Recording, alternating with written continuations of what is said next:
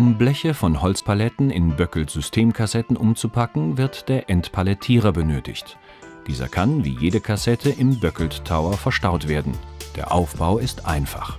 Die mitgelieferten Stempel werden in vorgesehene Fächer untergebracht, eine leere Kassette wird auf den Entpalettierer gelegt und die Stempel, die später das Blech tragen sollen, werden durch die Lücken der Kassette eingesteckt.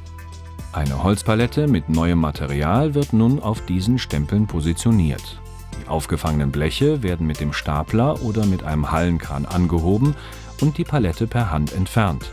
Somit ist das Blechpaket ausgestempelt und fertig für die Einlagerung in den Böckelt Tower. Das ist ein Vorgang, der dauert ca. fünf Minuten.